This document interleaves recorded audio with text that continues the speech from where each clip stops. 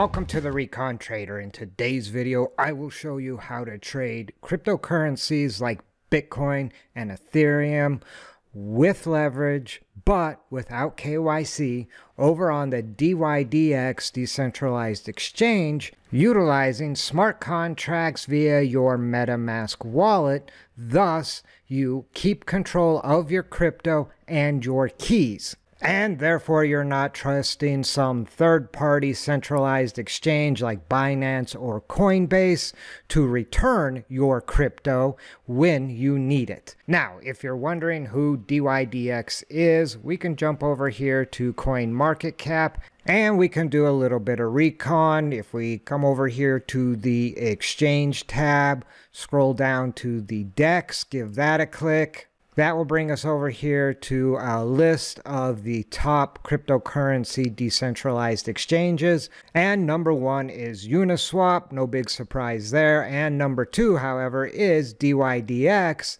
with a volume of just shy of a billion dollars. And they're not that far behind Uniswap, just about 300 million behind Uniswap. Now, one of the differences between Uniswap and DYDX is the type of exchange that that they are. Uniswap is a swap exchange where you swap one currency for another, whereas DYDX operates similar to a traditional exchange with an order book where you're actually placing buy or sell orders. Now, if we take a little deeper dive into DYDX, you can see that DYDX is the developer of a leading non-custodial decentralized exchange or a DEX, and their main focus is really trading cryptocurrency derivatives like perpetual contracts. And like I mentioned before, you basically connect your MetaMask wallet to the exchange, and thus it runs on audited smart contracts on blockchains like Ethereum, which eliminates a trusted third party like Binance or Coinbase, where you're trusting them with your crypto. Now, I've done my own recon. You will definitely want to do a little more recon. I will tell you that DYDX was founded in like 2017, and I think the platform actually launched in 2019. And so they've been around and they've survived some bear markets, unlike, say, FTX, who basically got wiped out by this most recent bear market. And that was a centralized exchange, and traders were not able to get their money back from FTX. But that's enough jaw jacking. Let's get to actually trading. And so you'll want to jump over to the dydx.exchange website. I will drop a link in the description down below. And as you can see from the website, they do offer free trading. I guess we should look at the fees before we actually get into the uh, trading. And the fee structure for DYDX is based on a maker and taker orders. Now, a maker is basically a limit order, and a taker is essentially a market order. Makers make the market limit orders make the market, your order hits the order book, where takers take from the market, your market orders are basically taking orders off the order book. And then as far as the actual fees themselves, you can see the first level is free within a 30 day period. If your volume is $100,000 or less, you will not pay either maker or taker fee. Now, trading with leverage, it's not very hard to exceed the $100,000 mark. And so in reality, you might actually be falling into level one or level two fees, where you can see the maker fee is 0.02% to maybe 0.015%, and your taker fee is 0.05 or 0.04%, which is pretty much in line with like your Binances and your Bybits as far as trading fees go. Now, this level one or level two 30 day volume is actually not that hard to meet when you're using leverage. So again, the more you trade, the more volume you have, you can see your fees do decline decline with the more volume that you trade. Now, another way to get a trading fee discount would be to actually hold some DYDX, and thus you could get even more of a discount on your trading fees depending on how much DYDX or staked DYDX that you actually hold. And this structure is somewhat similar to holding BNB tokens if you're trading over on Binance. Now, with that all being said, let's jump back over to the DYDX website and click on the trade button over here in the upper right hand corner. That will land us over here on the trading dashboard for DYDX. And the first thing you will need to do is connect a wallet. And so you can click on connect wallet and that'll give you a pop-up of a variety of different wallets you can choose. Metamask the coinbase wallet. In this case i will be connecting my metamask wallet so i just give that a click. And as it's connecting, it's important to note that connecting to DYDX is free and does not affect your funds in any way. Now, if this is the first time you're actually connecting your wallet to the exchange, you'll have to do a verification of ownership and then you'll need to enable trading. This would be similar to setting up API keys over on Exchange where you're authorizing trading for your particular account. And again, these two signature requests will not incur a fee. If you don't want to have to go through this step every time, under Remember Me, you can toggle that on and then click Send Request and it will first verify I actually have ownership of the account. So I just need to click sign over here in my MetaMask wallet. And now the enable trading gives me secure access to their API for Lightning Quick Trading. So I click sign and now you can see up here in the right hand corner of the screen, my MetaMask wallet is connected to the exchange. And now I can drop down here to the lower right hand corner of the screen where it says deposit funds and give that a click. But before I do, something you want to make sure when you are actually interacting with your MetaMask wallet with pretty much any exchange, but in this case, we're dealing with DYDX the DYDX exchange, as far as I can tell right now, really only interface is with Ethereum mainnet. So you want to make sure you're on your Ethereum mainnet. In addition to, you want to make sure you have some ETH in your wallet to cover any transaction fees that might occur from deposits or withdrawals. I do believe there are some gasless transactions for deposits depending on how much you're depositing. Something else to note that most of the contracts you're going to be trading are USDC contracts, not USDT. And so you would, in theory, want to have some USDC in your Ethereum account. You can see I have USDT and I need to convert some of this USDT into USDC. And so if I click on USDT, click on swap, I will convert, let's say 500 USDT into USDC. If I select the swap to and click on USDC, I can review the swap this is going to be extremely expensive. As you can see, the estimated gas fees are $82. So I'm going to click on cancel. And I will actually send some USDC from probably my Exodus wallet so I can copy my account address by clicking copy to clipboard right here. Open up my Exodus wallet, jump over here to USDC or USD coin, click on that and then click on send. Now I just paste my MetaMask address right here and select the amount of USDC I want to send. We'll go ahead and send 600 USDC. You can see my fee down here is $31 essentially in ETH. So it's less than that $85 fee to swap so I'll go ahead and click send. It's still a pretty high fee, and that is part of the problem with dealing with the Ethereum network. I hope in the future DYDX switches to a less expensive network. So I'll go ahead and click send. The coins have been sent. Now, it will take a moment or two, or maybe just a second or two. The funds have already shown up in my account. So again, I drop down here to the deposit funds button, give that a click. The asset I want to deposit is USDC. The amount is, I could click max, which would be the 600 USDC I have available, but I'm only going to transfer 500 USDC. Now, as you can see, my deposit meets the gasless deposit minimum of 500 USDC. Now, I think the minimum amount you can deposit is like $10, but in this case, because I'm depositing 500 USDC, my deposit meets the gasless deposit minimum of 500 USDC. So DYDX will cover the gas fees for this deposit.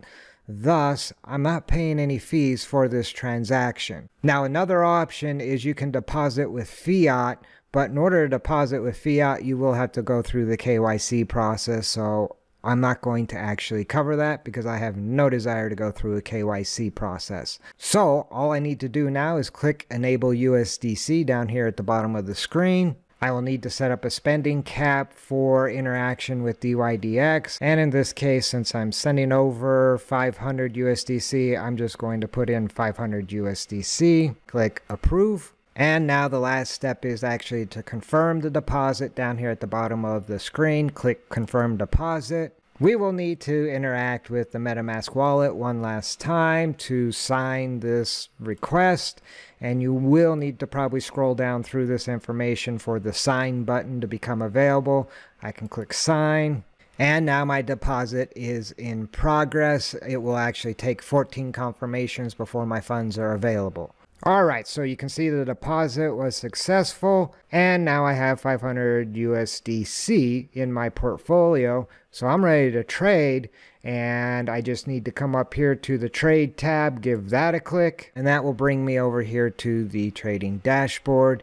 Now I need to select what pair I actually want to trade. And as you can see, there's a variety of different pairs you can trade. Now, I don't trade the majority of these other coins. I pretty much just trade ETH and BTC. So if I choose BTC, USD pair. All right, so now that I have my pair selected, you can see my buying power is up to 10,000, which would essentially be 20x leverage on my equity of $500. My margin usage obviously right now is 0% because I'm not in any positions. And then your account leverage is basically what leverage you're using since you're set up as crossed margin. If you have multiple positions, your risk would be spread across all of those positions based on the leverage. Now with that all in mind, we're ready to place an order and we can do either a limit or a market order or we could do a stop order. Now remember, as far as the fees go, you'll pay less fees if you're doing a limit order versus a market order. Now to execute a limit order, you would put in the amount of the order size. I prefer to place my orders based on USD in relations to my actual equity. And so, for example, if I put in 500 USD, at a limit price based on going long or buying. Let's just say we want to go long if Bitcoin's price pulls back down to, to say 28.5 you can now see that this long position would be using only 1x leverage which again 500 USD would be my equity that I currently have so if we bump that to 5000 USD. Now you can see my leverage if I execute this order would be around 10x and my liquidation price would be around 26,442 if the price continued to move down from this 28.5. So 9x leverage would be within my risk tolerance and we got our limit price at 28.5. Now we have some advanced options. Probably the more important factor would be post only or reduce only. If you want to ensure that this order gets filled as a limit order and you pay the lower fees, you would want to check off post only and that will ensure that your order gets filled as a limit order versus a market order. For example, it could fill as a market order if when I submit this order, the price of Bitcoin is actually below 28.5 my order going long would fill immediately at the lower price, taking advantage of that lower price, and thus it'd be filled as a market order. In this case, I have enough room between my limit price and the current price that the odds of it filling immediately are slim to none, so I don't actually need to post only. Now you can see the fee, maker fee. I'm not going to pay a maker fee at this point in time because my trading volume on this account would be under that $100,000 limit. And then the total would be around that 5,000 because again, I'm hitting around 10x leverage on my 500 USD. And so I could go ahead now and click place limit order. And now if you jump over here to the orders tab, you will see that limit order is out there and waiting to be filled. And if you look up at the chart, you can see my limit order on the chart is basically down here at the bottom of this sell-off where perhaps we'll find support and Bitcoin's price would bounce again from there. In reality, this is not how I would trade, so I am going to go ahead and cancel this particular order. And before we wrap things up, let's go ahead and place a market order. So if we come over here and click on market, and so now I would actually pay a higher fee because I'd be considered a taker. Now in this case, let's go short. So we click on sell. As you can see, I can set the order size amount. Again, I'm going to base it on the actual USD and we'll go 5,000. Again, we're looking at about 10x leverage at 5,000, which 5,000 USD is 10x my $500 in equity. Again, you can use up to as much as 20x leverage over here on this platform. Now, if we scroll down, you can see a button that says triggers. If we give that a click, this is where I can set a stop loss or a take profit. And in this case, I could do that based on a dollar amount or percentage. Now, I trade based on percentages. So I could say, for example, I want a stop loss of, say, 3%, and I want a take profit of 6%. So I'm getting a 1 to 2 risk versus reward ratio, and that will show you where the price would actually hit for those stop losses or your take profit. And these orders will also execute as market orders, so you will pay that higher fee. Now, if we scroll down, you do get a warning, which is kind of nice, that your stop loss trigger price is too close to your liquidation price, and they recommend you move your stop loss price, which I definitely agree with. You never want to get liquidated, thus, you always want to have a stop loss a good distance away from your liquidation price. And so I will change it from 3% to let's just cut it in half, 1.5%. And then we'll make our profit 3%. So I'm still getting that 1 to 2 risk versus reward ratio. Now you can see the warning is in yellow versus red. It's just letting me know that my trigger price is close to my liquidation price, so the stop loss order might not execute fully before getting liquidated, which could happen anyway with a volatile market. But I'm good with that for the moment, so let's go ahead and add those triggers to my order. And now you can see I have a stop loss and my take profit orders have been added. And so a recap real quick, the expected price is going to be around 28.8. My price impact is 0.01%. My fee is going to be the taker. However, because I haven't placed any orders on this account, I'm still at that zero fee. And the total amount of the order is going to be that 5,000 USD. So we go ahead, place our market order, and it placed the market order, my stop, and my take profit orders. If I click on orders, you can see the sell order was filled at market. If we click on fills, again, you can see that order was filled and my entry was 28,839. If I click back over on positions, you can see I have a short position. I'm currently down 92 cents or 0.02% as far as my unrealized P&L. And you can also now see my positions on the chart. You can see my open position, my stop loss position, and my take profit position down here. So I think that's going to pretty much wrap it up. This was way longer than I expected. It was not intended to be an in-depth how to trade over here on DYDX. It was really just to show you how to connect your MetaMask wallet, get some funds on the exchange, and do a little bit of trading. But in the future, I will do a more in-depth video on how I actually trade over here on DYDX, so now would be a good time to shoot that subscribe button. If you like this video, do me a favor, spike a like. If you have questions or comments, drop them in the comment section down below. I will drop a link to DYDX in the description down below. And until next time, remember, never send your money into battle without first doing your recon. See you in the next video.